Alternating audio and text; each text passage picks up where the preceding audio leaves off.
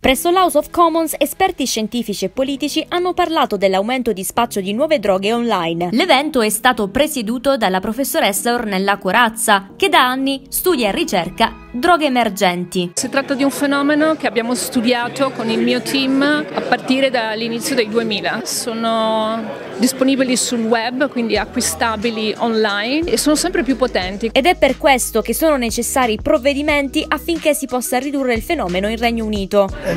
Crediamo che la tematica abbia bisogno di un profilo parlamentare, dichiara Lord Taylor of Holdbeach, la cui idea è sostenuta dall'MP Gareth Bacon, sostenitore parlamentare dell'evento il quale ha aggiunto un profilo parlamentare permetterebbe ai politici di sottolineare il problema sui loro media e se questo dovesse avverarsi ci saranno altri eventi che discuteranno anche i risultati delle loro indagini. È interessante riconoscere che il fenomeno è diffuso anche in Italia, come ha testimoniato il professor Fabrizio Schifano. Il fenomeno è diffuso sia in Italia che nel Regno Unito. Il numero delle sostanze psicoattive che noi abbiamo identificato è superiore a 4.300 alcuni di essi sono 10.000 volte più potenti della morfina. È difficilissimo identificare 4.300 prodotti che sulle urine. Similarmente, il professor Owen Boden Jones sottolinea altre sfide incontrate in ambito clinico.